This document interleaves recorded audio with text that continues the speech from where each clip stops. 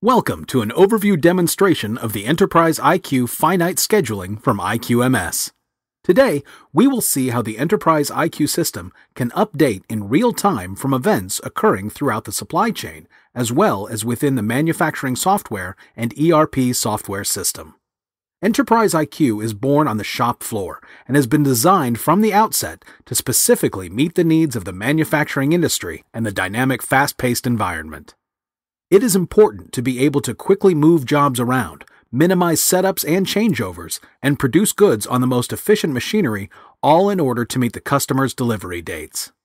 Scheduling in Enterprise IQ goes beyond just production scheduling by synthesizing data from the shop floor with the schedule to analyze efficiencies, material requirements, and inventory availability in real time.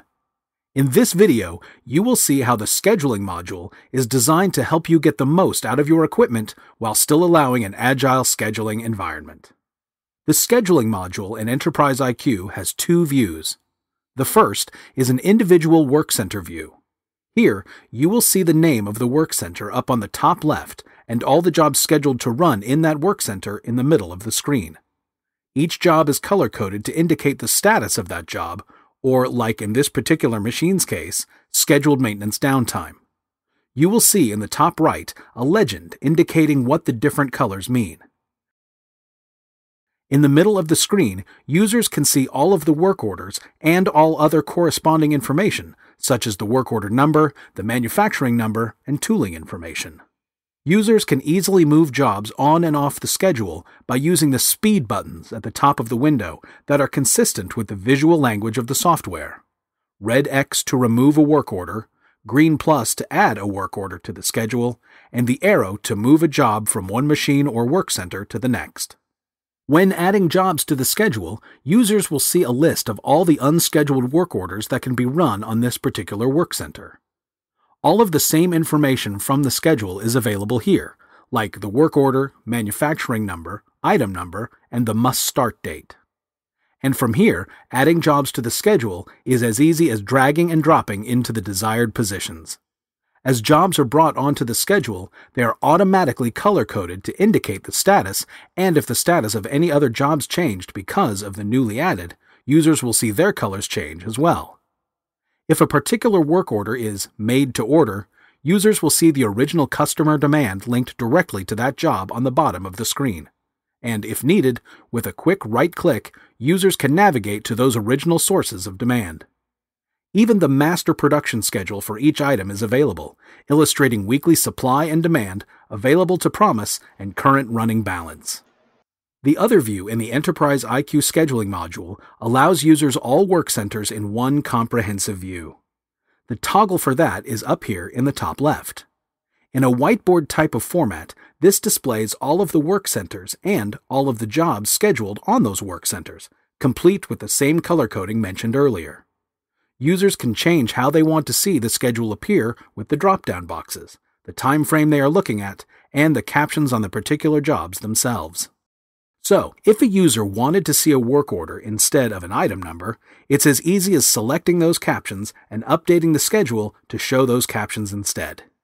In this layout, if a user needs to move jobs on a particular work center, or maybe even to a new one, the same drag and drop functionality applies. Notice on the left hand side, four of the centers for this job are highlighted in white. These are the work centers that are qualified to run this job.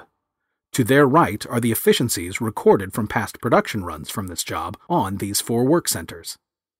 In this case, the work center number 4 has the highest efficiency at 201%, whereas work center 1 has only an 83% efficiency. To move this job to work center 4, all a user would need to do is drag it to that work center and the schedule will be updated automatically. Many IQMS customers also utilize the auto load functionality. Auto load will populate the schedule, putting work orders onto the machines where they are run most efficiently and can best meet the delivery dates, along with the number of other parameters that is set by the user for how they would like the schedule to be automatically populated. At any point in time after making changes, a user may restore the schedule to its last backup, allowing for a what if type analysis in the scheduling environment. As the schedule is updated, it is automatically pushed out to the real time tables on the shop floor for operators to be notified of any changes. Users can also print the schedule for each individual work center or for all of them at once and deliver those to the shop floor for use. From the scheduling module, users also have access to analyze things like capacities for machinery and labor. They can also set any other requirements for the schedule, such as purchased material needs, staging needs, and so on. Enterprise IQ provides robust manufacturing scheduling and planning software that goes beyond just production scheduling. It incorporates all requirements and delivery demands to determine an optimal schedule that helps organizations save time and money. Thank you for taking the time to watch this overview of IQMS Finite Scheduling. If you would like more information on the products and services from IQMS, please visit IQMS.com.